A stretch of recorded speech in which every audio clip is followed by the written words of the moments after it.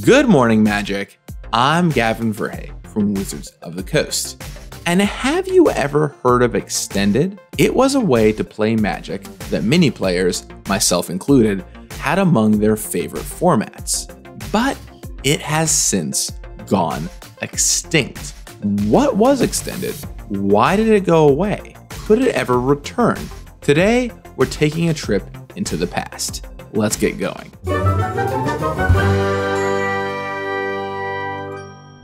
The year is 1997. MMMBop is near the top of the music charts. Weatherlight is the magic set on sale. And there are three total constructed formats you can play. Type 2, which today is called Standard, Type 1, today called Vintage, and Block Constructed, where only sets from a single block were legal. But as you might notice, there was nothing between Standard and Vintage. Once cards rotated out of Standard, their next stop was to compete with the likes of Moxes and Balance in Vintage. So Wizards created something new, Extended. The idea was that Extended would be something in the middle. It would contain many more years of sets than Standard, but not go all the way back to Alpha. That way, you had a place to play your cards when they rotated out. It started off going back to Revised, but excluded Legends for some reason. Anyway, that put 11 total sets in the format. Wizards said that, like Standard, they would rotate the format uh, eventually. Just wait and see. Yeah, look, things were different back then. Anyway, a lot of decks which sound classic now showed up in those first couple years of Extended. Whether Randy Buehler's Necropotence deck winning Pro Tour Chicago in 1997, Jon Finkel's Prison deck that packed delights like Winter Orb and Armageddon, Forbidian, which used Forbid with Ophidian, Sligh, and of course, mini variants of Tolarian Academy combo. Never forget that the finals of Pro Tour Rome in 1998 featured one of the most broken decks of all time, Academy, which could kill you on turn 1 up against a Merfolk deck, packing 4 copies of Manta Riders. Sorry, Professor, the Merfolk came up short this time. Anyway, at the end of 1999, about two years since the format's inception, it rotated, taking the Dark, Fallen Empires, Revised, and 4th Edition with it. Though the revised dual lands were kept legal, making for some powerful mana bases. They helped fuel decks like Oath of Druids and even Slivers. After that, Extended got onto a more consistent schedule. Unlike Standard, which rotated every year, Extended would rotate every three years, and with it would go three previous years of sets. For example, skipping ahead to 2005's rotation, when Ravnica City of Guilds came out, Tempest, Urza's, and Masques Block all went with it. And that every three year schedule is how it remained all the way up to 2009. But I'll get into what happened in 2009 in a moment. First, let's zoom out. For tournament players, Extended was consistently one of the most wide open formats.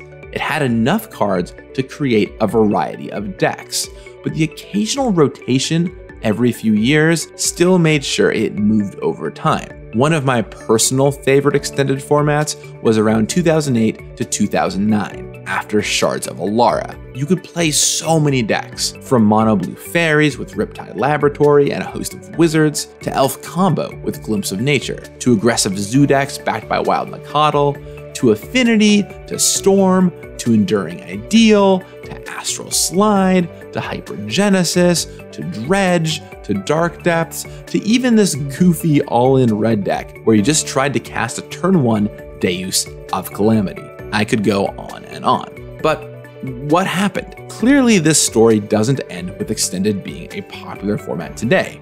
Remember, it no longer exists. There was a problem. Extended was fun when it was played. The way events worked, there were a few months of extended season every year, and then the format was mostly ignored the rest of the time. Nobody played extended casually for fun. It was a format most attractive to tournament grinders. The rotation system was weird and hard to understand, and because it rotated, the threat of rotation every few years meant nobody really wanted to hold on to tons of staples for the format. When it wasn't extended season, most people couldn't find anybody to play the format with. So Wizards tried a few things to get extended back on track. Starting in 2009, instead of the weird rotate every three years schedule, Wizards tried making it rotate yearly. Maybe that would help out, right? Well, no. It did make it more understandable, but didn't help fix the problem. So Wizards decided to take a step back and take another look at the structure of the format entirely. What if it was fewer sets, so it was more manageable and approachable?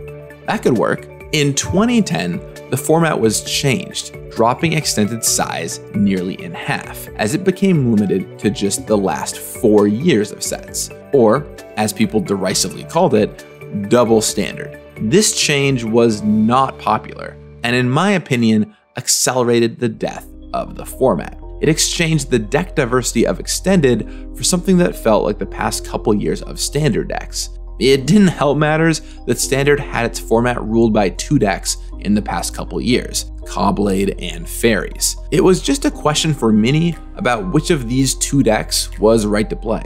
Numbers did not go up. And then something happened. Me. Okay, only kind of.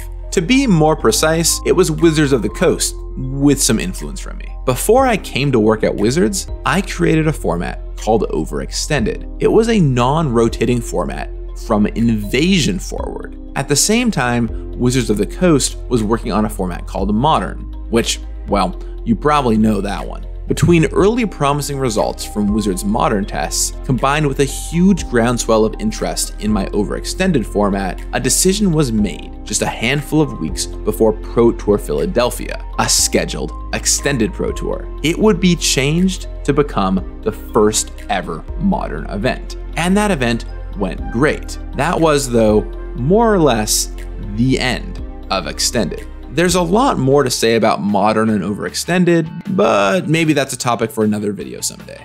You can let me know if you'd like to see one in the comments down below. Anyway, in the time since, modern has succeeded where extended failed, spawning a whole line of master sets and two horizon sets. Modern is one of the most popular ways to play Magic in the world, year round. What happened? Why did modern succeed and extended fail? You could argue a lot of reasons, from game factors all the way to just the proliferation of information online.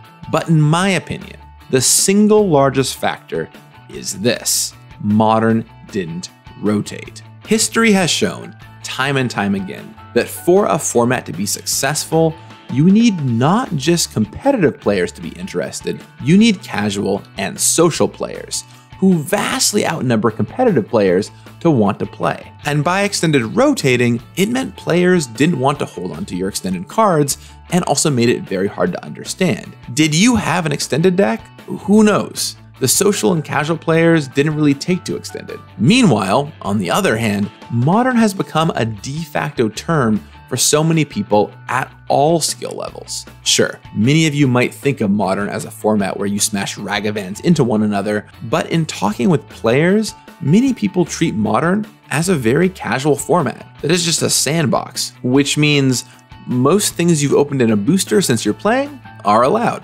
Squirrels, mono red control, walls matter, all technically modern legal decks. They're not going to go crush a tournament, but it doesn't matter. It gives people a shared language to let them play against one another, and that's powerful. It helps everybody get excited about modern.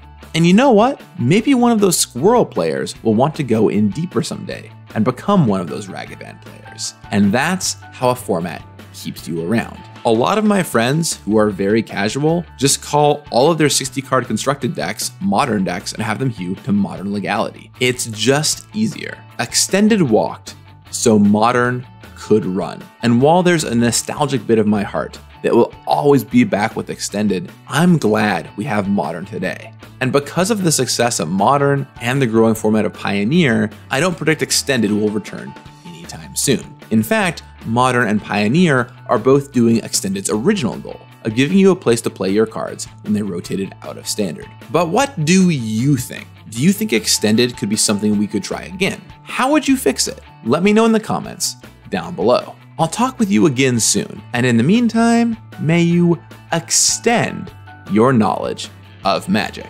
You got this. Him ever. I would have not named him Edgar. I would have given him a much cooler name. But here we are, st- stuck stuck with now a name that was given to Edgar that is just like the name Edgar, which is not only on this very popular commander, but literally was a face of Crimson Palace set that this came out. So, good reminder: name things always as if they're going to be used in the future because you never know when they will be. Yeah. Uh,